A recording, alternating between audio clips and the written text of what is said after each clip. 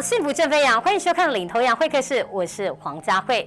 国内呢，疫情爆发以来呢，全台从五月十九号就开始进入了防疫三级的警戒，而且呢，一再的延长。各县市政府呢，都动员起来了，就是要强化呢社区防疫的作为，来全力围堵呢病毒的扩散，守护民众的健康。今天呢，我们的节目呢，就邀请到三位来宾呢，来和我们聊聊我们县府呢防范疫情以及对抗疫情的作为。第一位，我们邀请到是新竹县长杨文科。欢迎，呃，主持人好，呃，洪医师、麦医师好，还有我们所有的观众朋友，大家好，我是新竹县长杨文科。好，欢迎县长。而第二位，我们邀请到是新竹县医师工会的理事洪彩丽，欢迎。杨县长，主持人，各位观众，大家好，我是新竹县理事洪彩丽医师。好，欢迎洪医师。第三位，我们邀请到是麦建邦医师，欢迎。主持人好，县长好，各位观众朋友，大家好，我是麦建芳医师。好，欢迎三位来宾来到我们的现场哈。那我们都知道了，新冠这个病毒是一再的变种哦，是真的不能轻忽。那么县府呢，除了每天下午的这个疫情说明会来掌控处疫情的变化和这个确诊者的足迹外呢，我们也和邻近县市是成立了竹竹苗防疫作战的联盟，一起呢来合力防堵疫情，让民众呢可以安心的来生活。首先呢，我们就先请教一下县长了，我们采取是什么样的策略呢？是我我想这一次碰到这个世纪大瘟疫啊。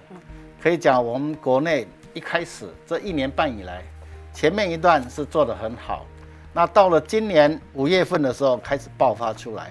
那我想，我们新竹县，我们卫生局全体的同仁投入之下，我们的做法是这样。当然，最重要是一个预防，第二个阶段是衰减，第三是治疗。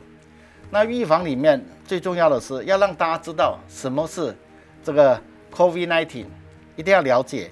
然后你这个还要打，给他打疫苗，嗯，打了疫苗，大家就可以免于这个，呃，等于是群体都可以有抗疫的功能。嗯，那这样的一个情况之下，让大家知道怎么样一个新的生活。所以在预防的阶段，是一定要让大家懂这些事情。第二个就是要衰减，我们新竹现在衰减的部分，我们是大力的在做。那我们也设置了七个衰减站，嗯，那也成立了行动快筛部队。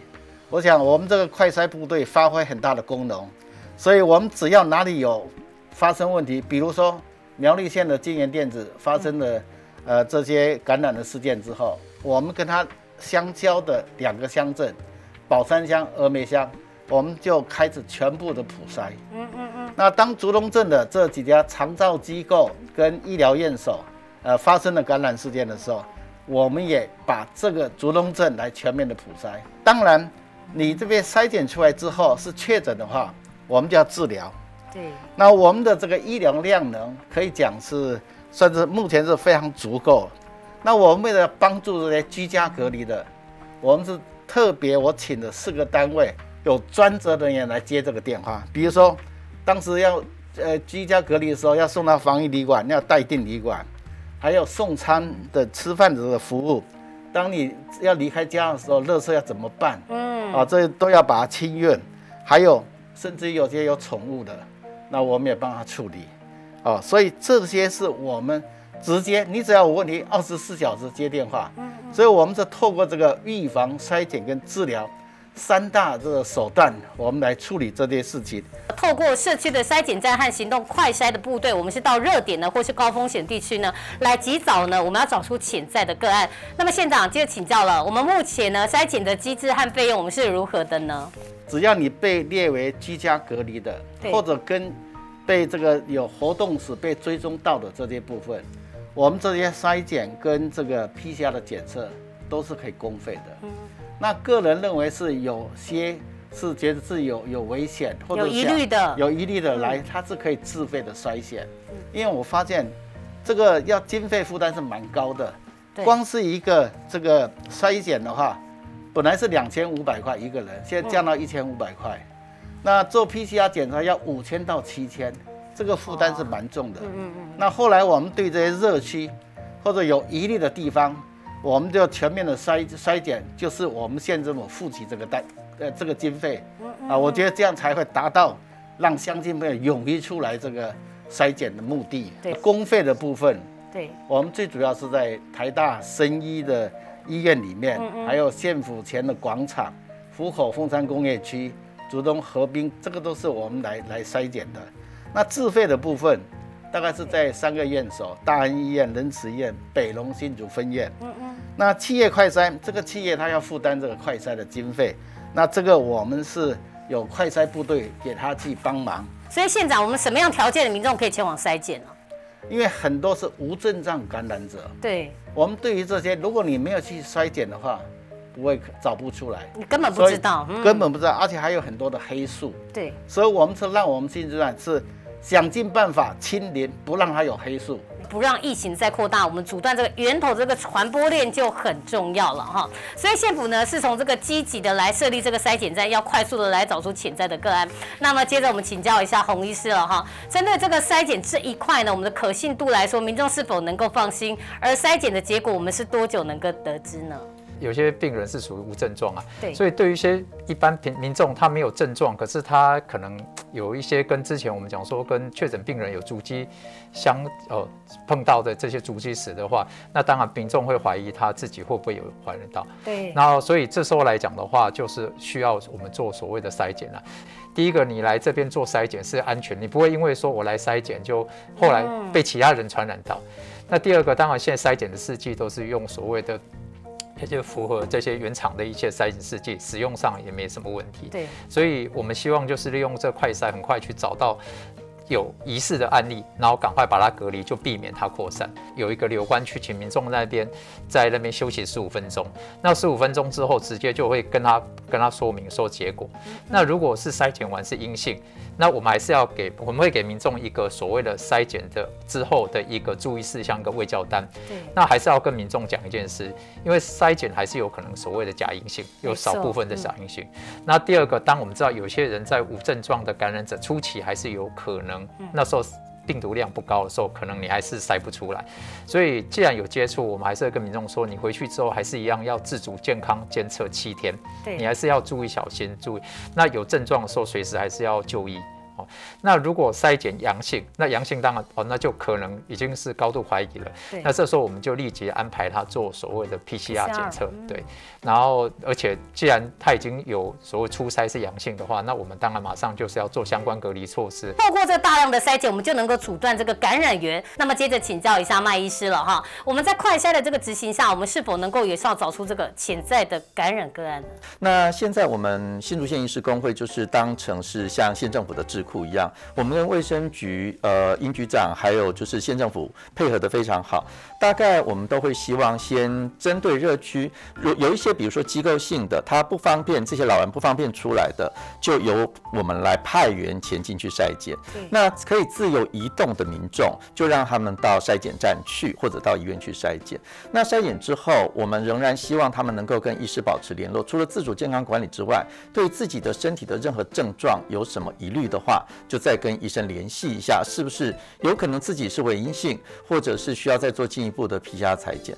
那一般目前现在市面上的快筛试剂，它阳性呃就是阳性率大概就是落在九成到九成五之间。对，呃有雅培的，有福尔的，有很多的品牌哈。那呃我们医生不会只针。不会只看快筛的结果，我们会从你的接触史、你你的铺路史、你的足迹、你的症状来决定你要不要做进一步的 PCR。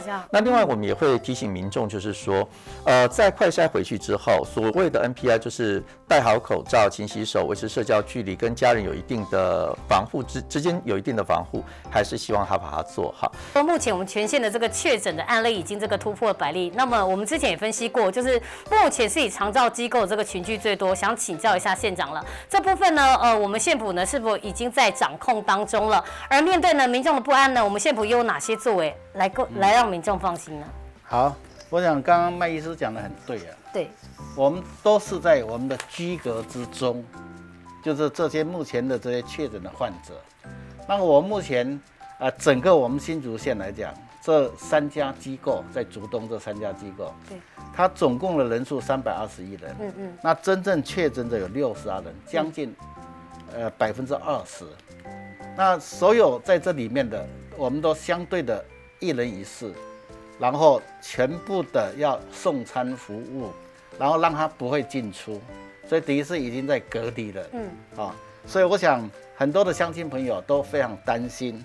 那我们对于这三个机构，我们在七月一号也特别下令的，对这个呃我们的医疗院所，我们要让它停止这些手术门诊，对，以及这些呃所有的这些进出，病人只出不进，啊，我们一定要到他最后一个确诊者，呃满二十一天，哦，让他整个都降载下来，降载措施，措施，然后让他可以，呃，没有清零，完全没有问题的时候，才来恢复这个，呃，门诊这些手术的这些昼夜。嗯嗯。那我们对于我们的这个护理之家，有长照机构，对，我们也下令让他在两个月内都不能新接住民，也不能有这些探病探视的这些规定。那我们也要一直衰减到他呃最后一个居居家隔离的满二十八天之后都没有问题之后，才让他复工，再让他营业。那这些做法的话，最主要的目的就让他在这里面，然后我们更是加强监测，不断的在筛检，甚至于刚才两位医师都讲得很清楚啊，都有一些伪阴性啊。所以，我们一筛是阴，二筛也是阴，三筛是到第五筛才筛出是阳性。对。所以这个我们是非常注意，而我们不会筛了一下，哎，阴性就放它出来。对。所以这个我们会严格的来把关，一直到这个居家隔离期满之前，还要再做一次的这个筛检。所以都是四四筛五筛都有都有。所以这个是我们全力在做，在防守。我们就是两天筛检一次。嗯。总而言之，就是要确保。这个安全无疑了，这是我们的决心。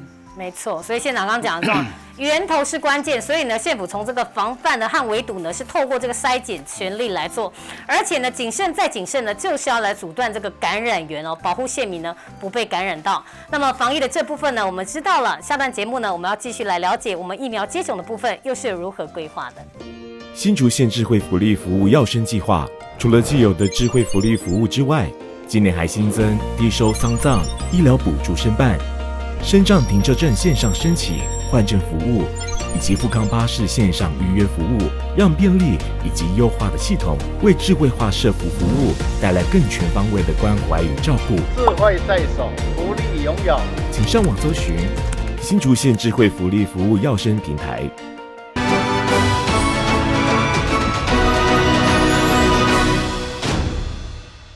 来到我们的节目现场，我们刚刚了解到了这个新竹县的两大这个防疫对策呢，就是这个快筛部队和快打部队。而打疫苗呢，正是呢目前呢防范新冠肺炎呢最有效的方法了。中央配发的这个 A Z 疫苗呢，也在六月十五号来开打了。现在我们就透过这段 V C R 呢，我们来看新竹县首日接种的情况。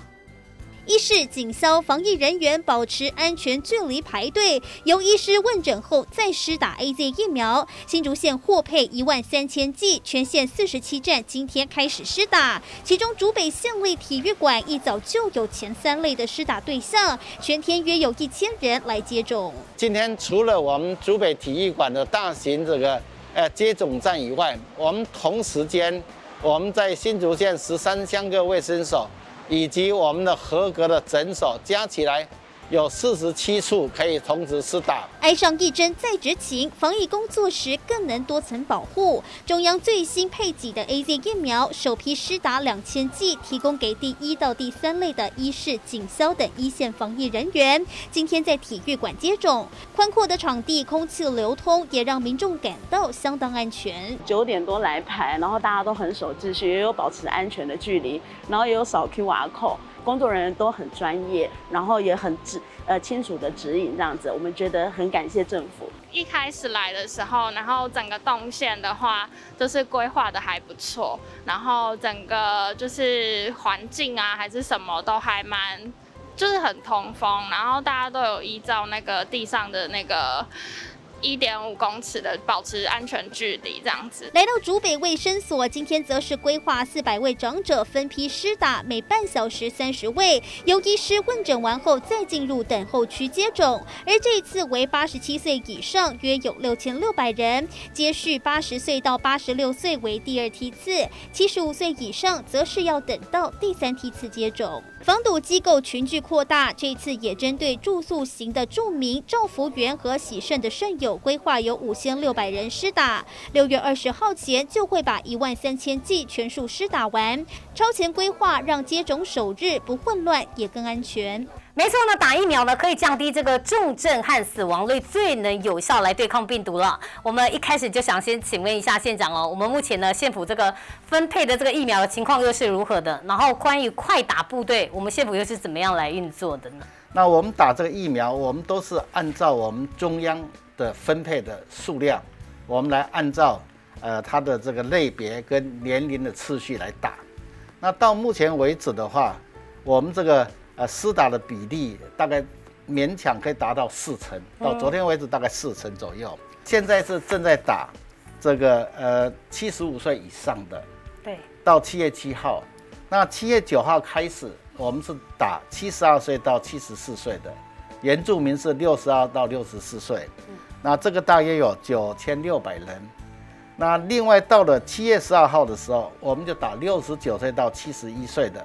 原住民是五十九到六十一岁，那这个部分大概有一万三千两百人。那我们接着在七月十五号开始，我们要打六十五岁到六十八岁的，这个原住民是五十五到五十八。那这边大概有两万一千五百人，我们在全县有五十处地方可以打疫苗。那我们是透过我们十三乡镇的卫生所以及合约的诊所。再加上我们设置的三个大型的这个接种站，在我们竹北就在体育馆，在福口的话，我们是在我们王爷垄这个公园呃运动公园里面来施打；在竹东的话，就在我们的戏曲公园来打。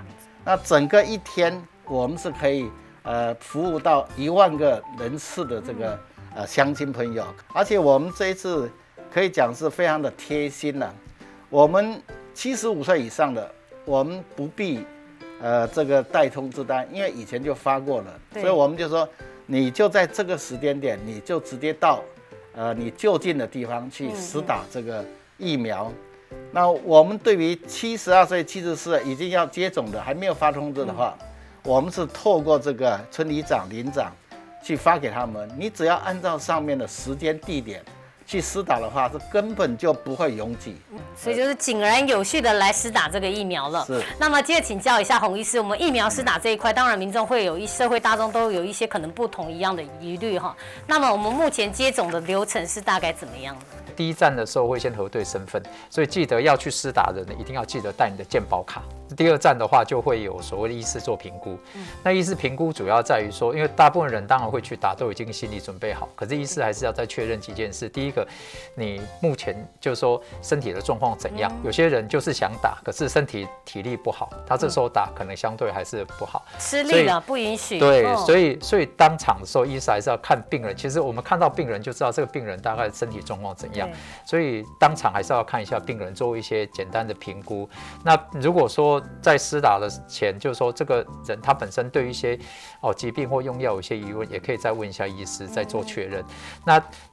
再来的话，最重要就是有没有过敏啦。目前来讲，大部分的慢性病其实都可以去接受施打，只有说我们讲说，你如果是有正在发烧啦，正在有一些急性症状的时候，不适合施打。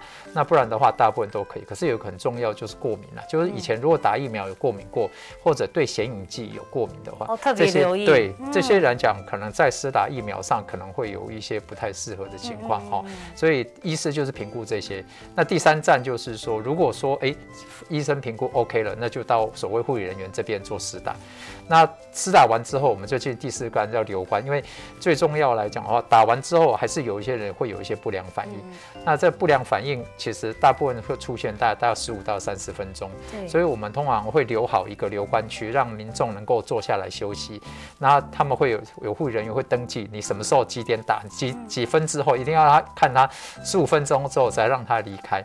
那十五分钟是目前来讲缩短最最短的时间。但如果说民众觉得还是有不舒服，其实还是建议他可以多留十五分钟，或者是在自主所谓的监测十五分钟。那有任何不舒服，随时回来跟医生好讨论看看。了解。那么接着我们就想也替民众来问一下这个麦医师这方面啊，就是说是打疫苗，我们是不是每一位民众都适合呢？有没有人是不适合的？所以如果我们想要知道自己打疫苗 O 不 OK，我们可以到哪里来了解呢？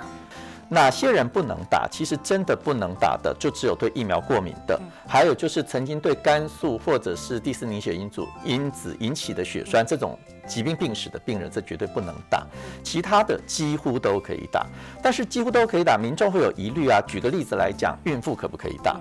那事实上，像 WHO 已经确定了，所有目前台湾使用的疫苗种类，孕妇都可以打。可是有的国家会在第一个孕期建议不要打，那这个时候孕妇就应该去打电话问一下她帮她产检的医师，我适不适合打？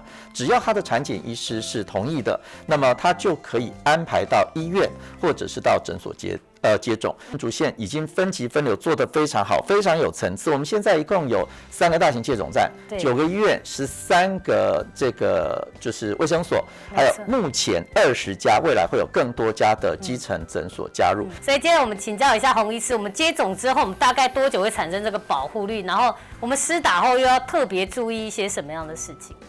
一般来讲呢，疫苗如果注射之后，大概要产生抗体啊，大概都要两周以后了。嗯，所以就是刚打完之后来讲，其实一开始没有保护力，很多人觉得我打完就开始，哎，就放心了，其实还没那么快。对，那两周也只是刚开始产生有一些出保护力，所以才会有第一剂打完之后，我们隔一段时间要打第二剂，来让抗体的产生更多。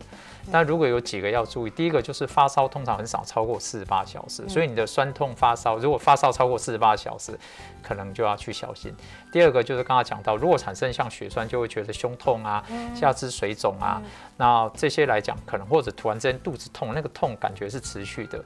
你不太放心，那这时候就要看医生。嗯嗯。然后或者是说觉得初期喘、头晕啊，那这时候来讲哈，就要就近赶快看医生。那看医生，当然去医院或者附近的诊所都可以，但是一定要记得告诉医生说，哎，我什么时候有打过疫苗，会不会跟疫苗有关系啊？那医生就会做适当评估，也许只是刚好有其他问题，但是这时候来讲的话，就是刚刚讲这几个，就是需要赶快去就医的情况。哎，想请教一下麦医师，是不是民众接种之后，是不是？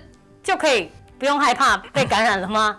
目前英国三十八万多人的 review data 告诉我们，打完第一剂以后，BNT 或莫德纳大概就有六成不会生病，AZ 也是六成，保护你不要住院、不要死亡，接接近百分之百，两种都一样，一模一样。可是要记得一件事情，就是说疫苗大概有三个层次，好，第一个层次是它让你完全不生病，对，完全不感染，好，这是一个哦。第二个是你可能被感染，但是不会生病。嗯。第三个，你被感染，你会生病，但是不会重症，不会死。好，这是三个层次。